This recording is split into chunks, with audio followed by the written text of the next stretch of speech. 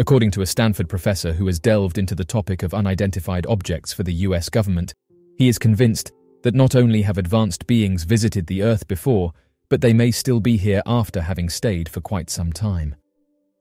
According to Dr. Garry Nolan, whistleblowers with experience in reverse engineering downed aircraft have recently given confidential testimony to Congress. This has resulted in a major controversy in Washington.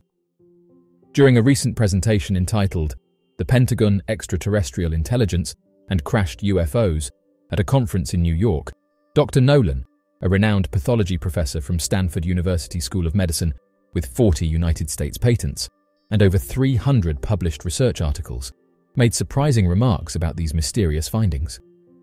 The distinguished expert is among the most skilled and experienced scientists in the public domain who investigate the phenomenon including examining the brains of individuals who claim to have encountered a mysterious aircraft.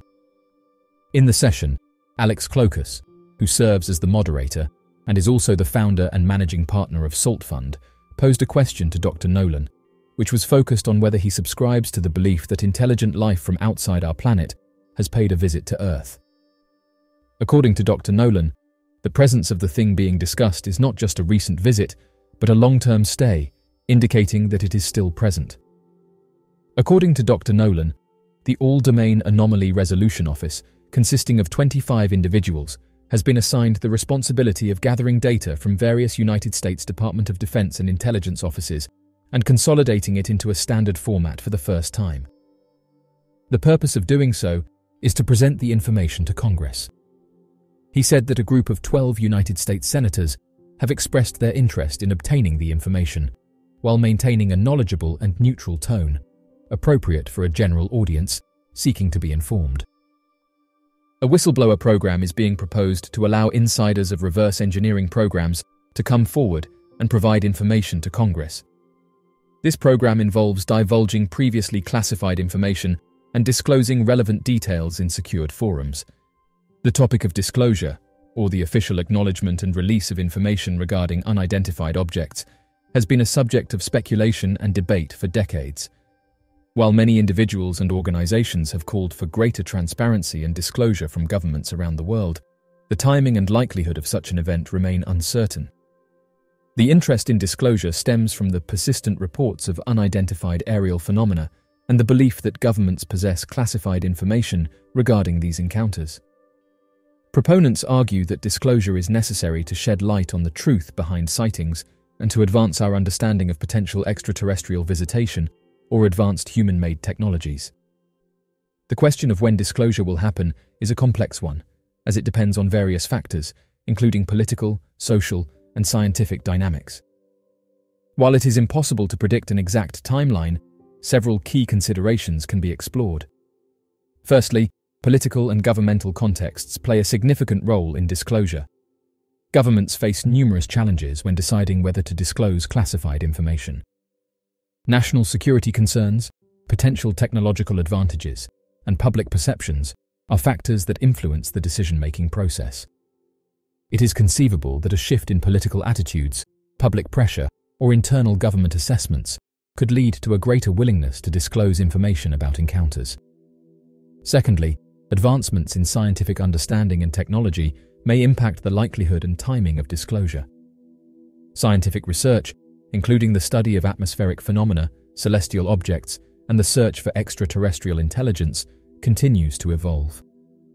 Breakthrough discoveries or significant scientific consensus on the existence of extraterrestrial life or advanced technological phenomena may provide the impetus for disclosure. Thirdly, societal attitudes and public demand for transparency can influence the discourse surrounding disclosure. As public interest and engagement in the topic increase, governments may face growing pressure to address the subject openly and honestly. The emergence of citizen-led initiatives, grassroots movements, and the power of social media can amplify public voices and foster discussions about the need for transparency. It is worth noting that incremental steps toward disclosure have already been taken in recent years.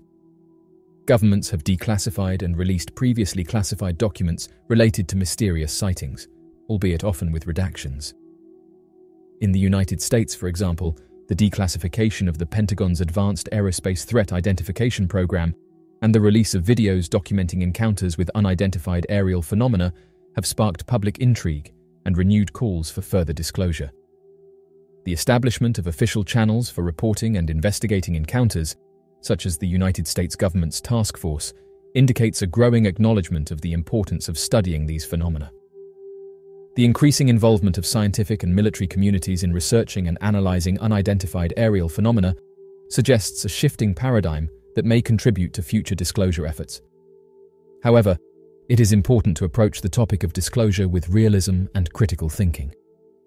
The release of information regarding encounters may not necessarily provide definitive proof of extraterrestrial life or advanced technologies. It is essential to separate speculation and theories from verifiable evidence and to rely on rigorous scientific investigation. As of right now, the timing of disclosure remains uncertain, and the factors influencing its likelihood are complex and multifaceted. Political, scientific, and societal dynamics all play a role in shaping the decision making process regarding the release of classified information related to encounters. While incremental steps have been taken toward disclosure in recent years, the ultimate timing and extent of disclosure depend on a range of factors that may evolve and shift over time. As our understanding of the universe advances and public engagement continues to grow, the possibility of greater transparency and disclosure regarding encounters remains a topic of ongoing interest and speculation. So, what do you make of these recent announcements, and when do you think disclosure will happen? Be sure to leave your questions and answers in the comment section below and help us to grow this community while working to solve these unexplained mysteries. Thank you for watching, and don't forget to subscribe for more videos.